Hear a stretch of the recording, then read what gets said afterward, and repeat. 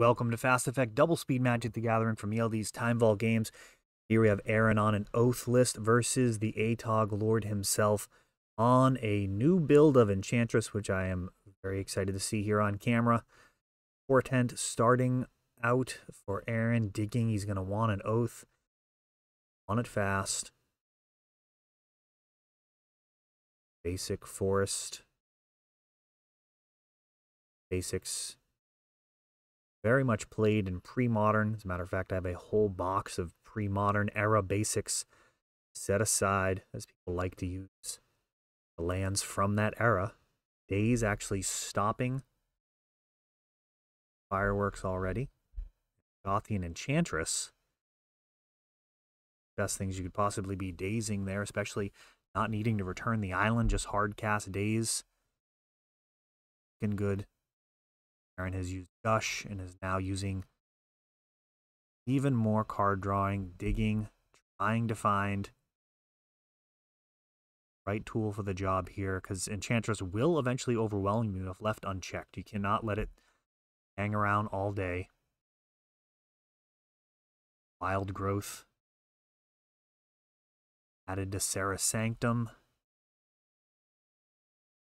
Enchantress has stuck now a dangerous situation.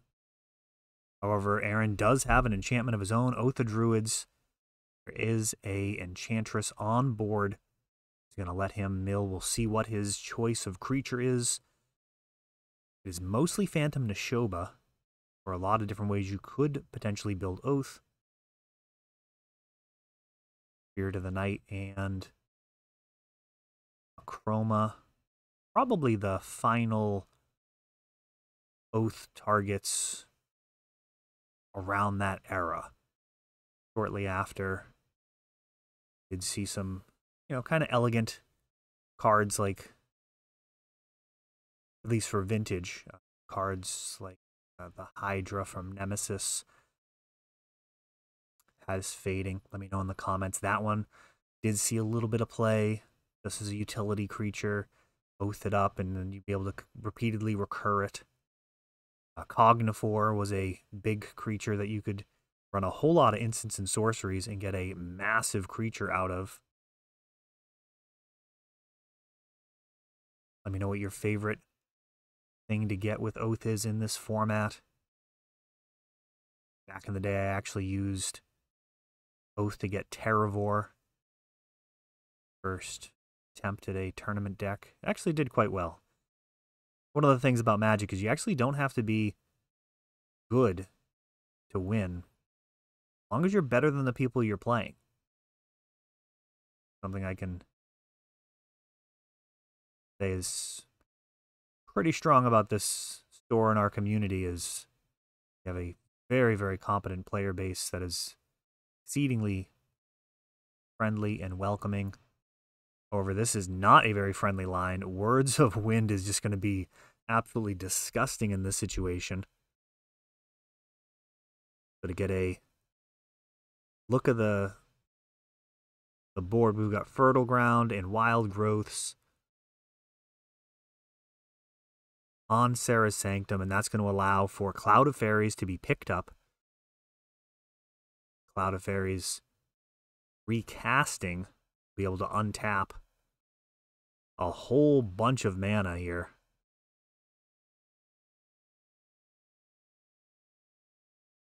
Not a good situation.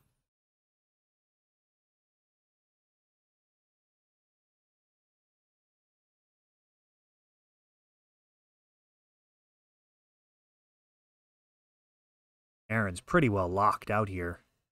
Anytime Rich plays an enchantment, he's going to be able to skip the draw, keep Aaron pinned down. However, he's got words of war as well, which will start to accumulate massive amount of damage.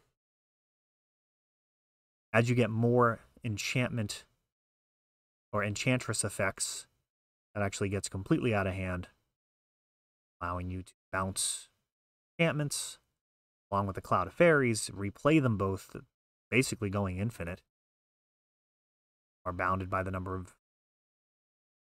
cards in your deck in terms of getting those draws. Are you even bounded? Not really, right? Because you can bounce an enchantment and the Cloud of Faeries. Replay them as long as you're getting more mana out of the two lands that you're untapping than it's costing you. Pay to replace the draws. So, yeah, it's it's a nice little bit of deck building here. Yet again, showing there is plenty of room to innovate in this card pool. It is far from solved. Of course, as these innovations come out, they can become part of the metagame and the, the larger shifting of the tides, trying to figure out what you actually want to be playing. Say this particular build of Enchantress distinct enough to be different than those main lines that we see. Oh, and Carpet of Flowers. Now that's a card that I actually don't recall seeing a ton of playback in the day. Let me know if I'm wrong on that. I feel like this card is way more popular now, like in Legacy, than it was in the early 2000s. Certainly wasn't worth money back then. Cards that if I had a hundred of them, I'm probably sell through them all. Full demand.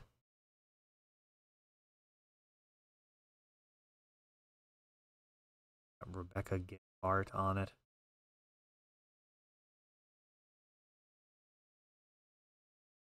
Aaron's mana base, as we saw from game one, is a whole lot of islands. Enchantress's presence that's going to deceive a null. Oh, portent. This carpet of flowers feels really egregious. I mean, I feel like Aaron needs some like fetch lands, non-islands to be able to continue developing his mana base. He's just going to fall way too far behind.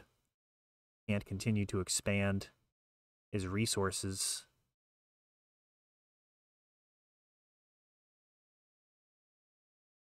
Another carpet of flowers.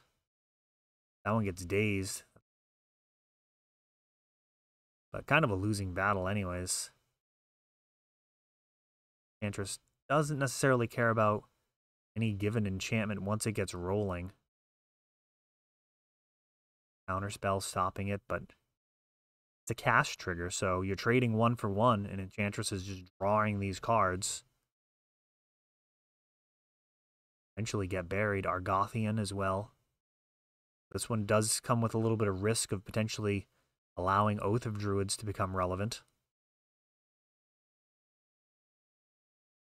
But Rich's board, I mean, could just pop off here. No question. Aaron could tap out for an Oath and never get another turn.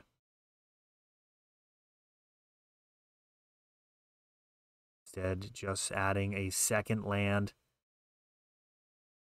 feels bad. Like it just really feels bad playing islands just directly into your opponent's carpet of flowers, but really not much else you can do. We got two draws here.